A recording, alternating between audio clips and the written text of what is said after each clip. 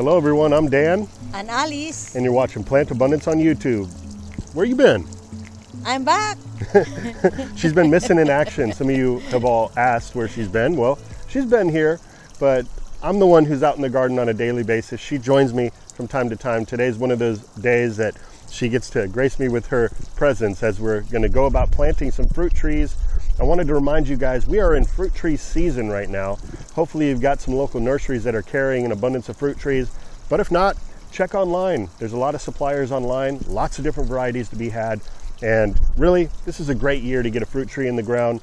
I think when it's all said and done, 2021 is going to be a year to remember. It's going to be a wonderful year, full of abundance, full of just new enlightenment. So, with that, let's go get to planting. Yes, I'm ready. All right, so what we have here today are none other than the jujube tree. I've got two different varieties. One is the Lang, and the other one here is the Chico. And we already have two jujube trees growing over yonder. We have uh, a Sherman, or Sherwood it's called, and a GA 866. And those two varieties have been wonderful. I look forward to adding two new ones into the garden. And why are we going big on the jujube tree? We got to talking about it and we were trying to figure out what is our absolute favorite fruit that we're growing right now. And that's kind of a big question. I mean, we've got over 35 fruit trees growing here now, a lot of different varieties. And we both came to the same conclusion that currently our favorite fruit tree, our favorite fruit producing tree is the jujube tree. So we got a couple young jujubes here now, sometimes they come potted up. You can also get them in bare root form online. And I already chose a spot for one of the trees over here, right on the edge of this hugelkultur. So I'm gonna have to move back some of these greens and dig our hole. I just want to show you guys how wonderful the soil profile is becoming here. There's a, a worm here.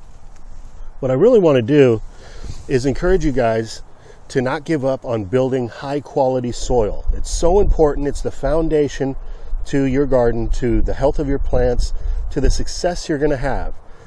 And it takes a little bit of time, but if you're patient and you add in the right materials, you're going to end up with a high quality soil. That wasn't the case when we first moved in here. Yeah, it could have been worse, but mainly clay, a lot of debris, and a lot of weeds. And over time, with sheet mulching bringing in different organic materials and chopping and dropping, plus adding in compost tea, adding in worm castings, we're ending up with some tremendously healthy soil here. So why have I chose this particular location to plant the jujube tree? Well, jujubes like full sun. It's really important. And this area gets full sun. Although we are heading towards the most southern end of the property, and you're going to get the most sun on the northern end, that's generally speaking. If you got a large fence and it's creating a lot of shade on the southern end of your property, then you're going to want to take that into account when you're planting anything small that it comes out past the shade line of your fence. And in the southern hemisphere, you can reverse everything I just said. It's the opposite.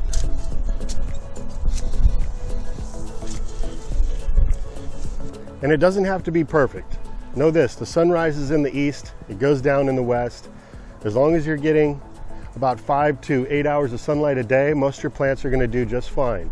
Mainly, what I'm talking about when I'm speaking about northern and southern ends is when you have taller fruit trees in your design, you don't want it to shade out your garden during the middle of the day. Unless, of course, you live in a really hot climate, maybe Arizona or Nevada where, or Texas, where you're just getting scorching hot during the afternoon. And we do get scorching hot here as well. But if you live in an area that gets just tremendous amounts of sun, then you can actually use that to your advantage by having a nice shade tree on your southern end as well, helping to create patches of shade for more of your uh, cooler weather crops like salads, brassicas, uh, kales, you know, that sort of thing. So now it's always a great idea, although not completely necessary, to add in some nutrients to your planting hole. Give a really good start to your plants. So what I have here is a super soil blend that I put together. And what's in here is some biochar that I made here on site. And I charged it up mainly using some fish pond water. I also put in some worm castings and some rock dust minerals. And then I mixed into that some potting mix just to give it some more bulk and add in some other nutrients that were in the potting mix there was more worm castings. I think there's bat guano and some broken down wood products. So this is just a great additive to add to your hole, but you don't got to get as fancy as this. This is just over time a different system that I've developed. I've made other videos showing you how you can use all sorts of materials, banana peels, eggs, sardines, you name it. But I'm gonna add a little bit of that into the hole, and then I'm also gonna throw in some Epsom salt.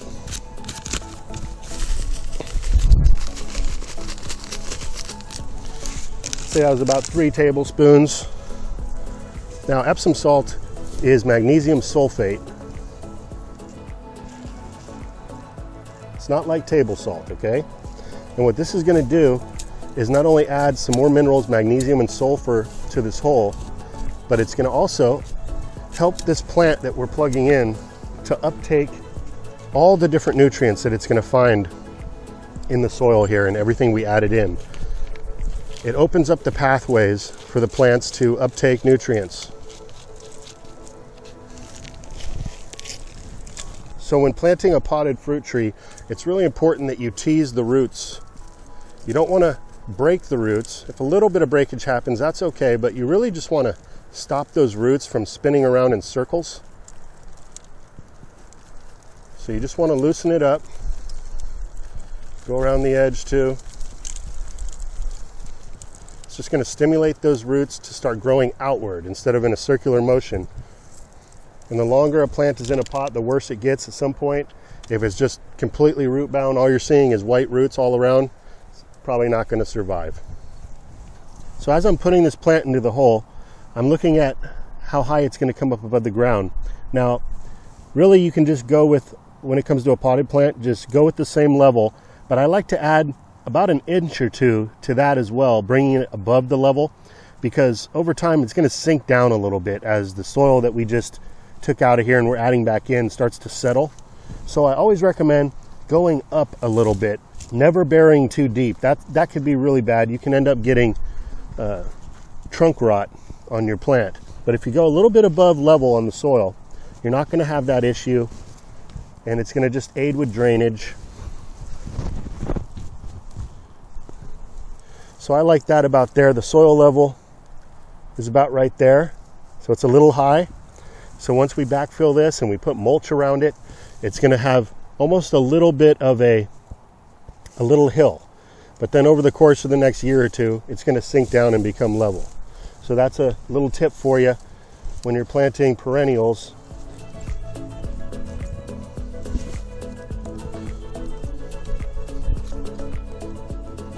And soon I'll make a metal tag for this tree and I also mark it down on my gardening diagram so I always remember what variety I have where.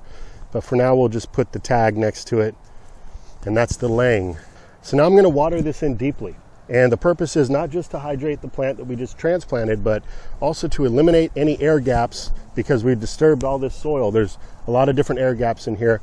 Um, of course, we want a little bit of aeration, but by doing a deep watering, that's always better than stomping around the plant to compact it in. It's just going to help to get all that soil mended together around the plants and the plant's roots.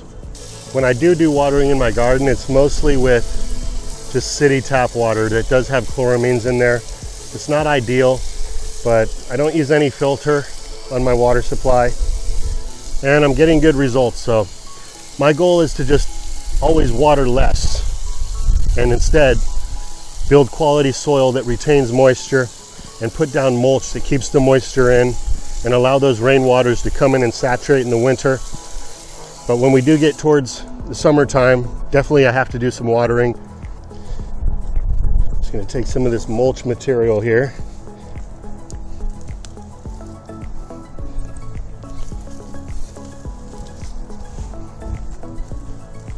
Got all kinds of stuff in here. Pine needles, leaves of different plants breaking down, wood chips. And that's it that plant is going to grow and supply us with food for the next 30 plus years, I hope. And that's called a wonderful investment, in my opinion. So, what's your favorite part about the jujube fruit? Why do you like it the most out of all the different fruit that we grow in our garden? Well, I like it because it's so delicious and you know, while I am biting, it's so crunchy. And once you eat, You never stop. You're gonna be like it. How about when it begins to actually dry and, and become wrinkly? Do you like it at that stage too? Oh yeah, it's kind of figs. I like it too. It reminds you of a fig? Yes. Because jujube is known as a Chinese date, but it's it's not quite like a date and it's not quite like a fig. It just resembles it. But it reminds you of a fig when it becomes wrinkly? yes. Okay. Every single bite. you know the wrinkle is kind of figs, and I like it. I personally love the flavor. It's amazing. Uh, there's many different stages which you can enjoy the jujube. Sorry about the wind it's coming through. It's a windy day today, but we're still getting out and getting some stuff done in the garden. Every day is an opportunity to plant more abundance. But back to the jujubes. Uh, there's many different stages when you can eat them. They're green, they start to turn a brownish chocolatey color, and then they become wrinkle and fully mature and resemble a date. And I love them at every stage. My favorite is right in between when it's gone from green to brown. So delicious. It's got, to me, it reminds me of a caramel flavor. And just like Alice said, it's one of those fruits where you eat one and you want another and you want another. And another cool thing about it is it contains a large seed right in the center. And a lot of the flesh of the fruit kind of sticks to that seed. So you end up kind of chewing on it, sucking on it like a candy after you eat the fruit itself. So it's kind of like there's a little candy center as well that you can enjoy after eating the fruit. But just absolutely delicious. It can be grown in so many areas throughout the United States. It's cold hardy all the way down to zone uh, 5 USDA climate zone, although probably not going to want to grow it in that area. More like a zone 6 through 9 is going to be the best. It does like long, hot growing seasons. So if you got a short growing season, you're not going to have as much success. It also likes a lot of dry weather, dry, hot weather during the fruiting season. During the rest of the year, we've had great success watering it just like all our other fruit trees. Now, there is a lot of information online that some of it's kind of conflicting, so I'm a big fan of just getting out there and planting things and observing and coming to your own conclusions. So, for us, in our experience, uh, it handles water just like the rest of the garden would throughout most of the season. But towards the end, if you can back up and allow that plant to just uh, be in a dry climate, it's going to do the best for you as far as fruiting is. So you may have issues if you live in an area that gets summer rains, uh, that has a lot of humidity. You may have issues with the fruit setting in abundance. But if you live in areas of California, Oregon, Arizona, Nevada, Texas, these are going to be Oklahoma. These are going to be prime locations to grow jujube bees, to grow jujubes. So keep that in mind. But if you're not in one of those areas, don't let that stop you from trying. I say, I say try and experiment and see what does well. Every yard's going to have its own little set of microclimates as well, so keep that in mind. You may live in a specific climate zone, but you may have things within your yard that alter that climate zone. You may have a pond, a body of water that creates more of a humid environment, retains some of that heat, stops freezes from ha- happening in that exact area. You may have a big brick wall that absorbs sun all throughout the day and emanates that and radiates that heat throughout the night. So there's a lot to be experimented with in the garden. But jujubes are a fun tree to grow. They're deciduous, they lose their leaves in the wintertime, and they can get quite tall. They can get 15, 20 feet tall. I've heard they can even get as large as 30 feet. So for me, I want to keep it pruned down because I've seen examples of people keeping them pruned at even four feet. So I took a good six feet off this jujube this year. And it is kind of hard to find exact pruning information on this tree, but I have come to some conclusions here. This tree really does grow similar to a grapevine. Its spur pruning is one of the ways that you're going to create an abundance of fruit on the tree. So the fruit itself actually sets on the new growth. So the, the growth that occurs this year is where the fruit's going to set. Now, each one of these side branches that I left off the scaffold branches here has one, two, three, four, five, six, seven, seven, eight nodes. I pruned them down to as small as two nodes, thinking that was best before. But I think this is going to actually be the best. Something like this. Maybe five, six nodes. And I just kind of spaced it out. I took out the upright growth. And I have a fruit tree pruning video coming up soon I know I keep mentioning it, but it's a lot of work, guys. It's a, it's a lot of information, and I'm trying to condense it so it's not boring. But all this upright growth I took out. And the jujube has kind of a whimsical, almost gangly type growth habit. So you can kind of hone that in a bit with proper pruning. And you definitely want to take some of that height out. Last year, these trees got really tall, and although beautiful and they set a lot of fruit up there, it just made it more difficult to harvest. So this is right here the Sherwood, and then over here we've got the GA 866, both lovely varieties. Something else worth mentioning if you do grow these trees is that they put out root suckers that grow at the base of the tree, several feet away from the tree even. You can pull those up and get rid of them rather easy. So just keep that in mind though. If you do plant one, you're probably not going to want to do it too close to the fence line. And although jujubes can be grown from those root suckers and seeds, they're never going to be true to the variety of the mother plant. Nearly all jujubes that taste good are grafted. But you can take those rootstocks, you can transplant them and graft onto that with a piece of wood from up higher on the tree. And you can propagate it that way. The seeds themselves, you can experiment with it, you can plant them out and see what they turn into, but most of the time you're going to get real small fruits that don't have much flavor. They're just not very appealing. So getting a known variety, one that's been grafted, is going to be the way to go. And jujubes are all self-fruitful. They don't need a companion in order to set the fruit, but anytime that's the case with trees, if you do have a variety in that same family, that's flowering at the same time, you are going to get the benefit of cross pollination and should get a heavier fruit set. So I always recommend starting with two jujubes if you can, but if, if all you can afford is one or you only got room for one, that's all you need. So you want to plant the next one? Yeah. You're going to dig the hole and everything? Okay. I'm not gonna dig it. I won't stop you. I kind of want to do it in alignment with the other one there. So like right here, let's dig this aloe vera out and I'll transplant that somewhere else. Yeah. Perfect. Little aloe vera plant. And also, let's take this artichoke out. We'll transplant that somewhere else as well. How about a thumbs up, everybody, for my wonderful wife here helping me out in the garden doing some planting today. And also for all her wonderful camera work that she's been contributing on the channel to lately. I'm going to help you while you're digging it up. I'm going to pull up on it. There we go. Look at that. yeah, deep taproot on these artichokes. And we will transplant that in the yard. There's actually there's actually several plants all bunched up here that we can transplant.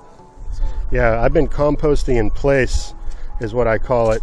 This is almost like a little island. It was elevated over the rest of the garden because I'd been sheet mulching year after year. And yeah, this is turning out to be some of the best soil in the garden over here now. Get me far away.